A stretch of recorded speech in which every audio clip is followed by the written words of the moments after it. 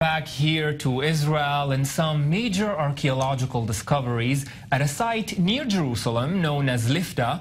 It's commonly known as an Arab village that was abandoned around the time the State of Israel was founded, but it also has an ancient past, according to a new archaeological survey that has not yet been published. Now, some are accusing Israel of trying to bury the findings. Why? Some say it's because of financial interests. I-24 News managed to get a hold of part of the survey. In the next in-depth report, our culture correspondent Maya Margit takes a look at the implications.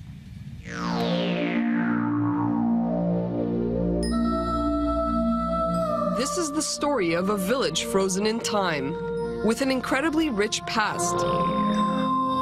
Abandoned, but not forgotten. Lifta, it may soon vanish forever because of controversial plans to build luxury villas there, transforming an endangered heritage site into a neighborhood for the ultra-rich. Lifta has a remarkable history. People have been living here for thousands of years thanks to natural spring water flowing through the area, and archaeologists even found remnants dating back to the biblical era. Located on the outskirts of Jerusalem, Lifta is mentioned in the Old Testament as part of the territory of the tribe of Judah. In the Bible, it's known as Mei Neftoach. One of the buildings here attests to Lifta's ancient past. These stones are believed to be from antiquity. Over the centuries, the village was inhabited by the Crusaders, the Ottomans, and later, Arab Palestinians, who lived here up until the Arab-Israeli War of 1948, when all the inhabitants fled. Afterwards, the State of Israel used Lifta to house Jewish immigrants from Yemen and Kurdistan. UNESCO put this place on a tentative list for World Heritage Sites and recently got even more attention when the World Monuments Fund added it to a top 25 list of most endangered sites in the world. Ahead of plans to develop the area into a luxury piece of real estate, the Israel Antiquities Authority was tasked with conducting an in-depth archaeological survey. For three years, archaeologists studied the buildings, roads, and foundations of Lifta. A small part of the area was turned into a nature reserve. Last April, the IAA published a video describing the exciting discoveries they made. There is no doubt this is a very important survey the IAA has conducted, and I'm very proud to be a part of it. And I truly hope the results of the survey will lead to this village being preserved for future generations. In October, the archaeologists were going to publish their findings for the first time. But somebody stopped them. And the survey, once online, was mysteriously taken down. The Israel Land Authority, or ILA, is the official body for managing lands across the state of Israel. And it's also in charge of the luxury development project in Lifta. Antiquities Authority and all the archaeologists involved in the survey declined to comment to I-24 News on the survey. They said only the ILA, the Land Authority, is allowed to discuss Lifta. The Land Authority argues that the site needs to be developed in order to be preserved. They also added that they intend to maintain Lifta's historic areas, though no further details were given. Ilan Steyer is the coordinator of a coalition of Jews and Arabs who have come together to try to save the site.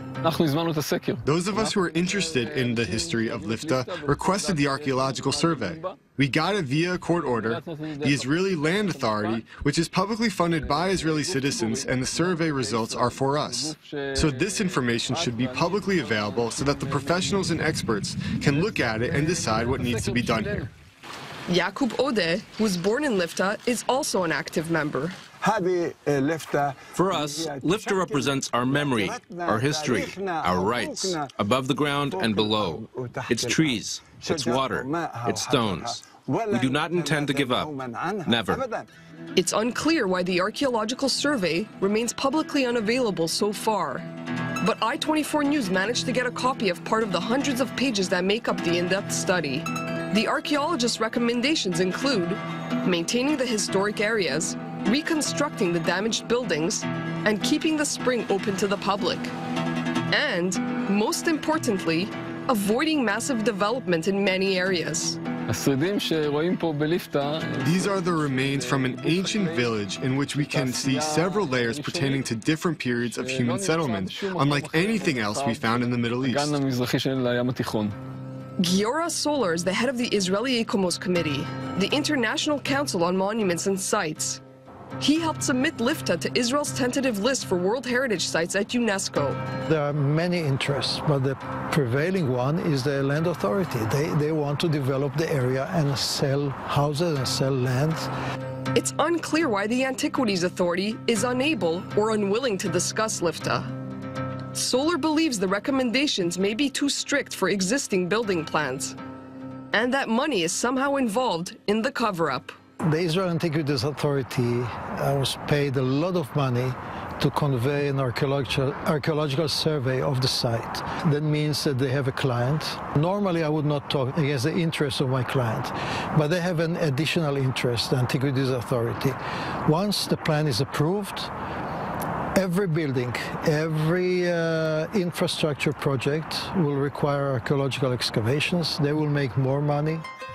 Ultimately, those trying to save Lifta believe the land authority will have to revise its current construction plans. Others argue the village can be saved with money. I would say an ideal scenario is that a, a philanthropic group buys it, restores it for the benefit of, uh, of the public. Whatever happens, everyone agrees that Lifta is an archaeological, historical, and cultural gem of immeasurable value that survived thousands of years of invasions, war, and human settlement. A place worth fighting for.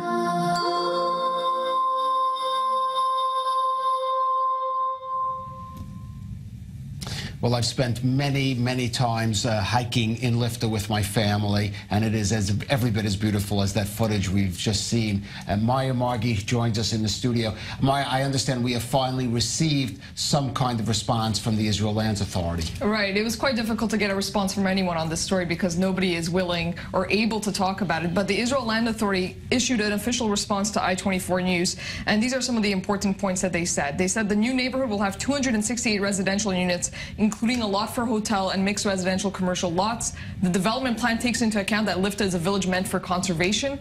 Other important points that they made, Lifta cannot be left as is since it is an ancient village with buildings in an advanced state of dilapidation and therefore poses a real danger to the public. And the Israel Land Authority intends to soon offer the land in the public tender while adhering to conservation efforts set forth by the plan. I'd say one of the real charms of Lifta is the fact that it is a ruin, and I, I do think having hotels and luxury units there, that, that would be lost. And they also failed to respond to any questions about the survey, what happened to it. That was one of my main questions to them. They did not tell me. So there is a kind of lack of transparency here that is making people question the motivations behind this development plan.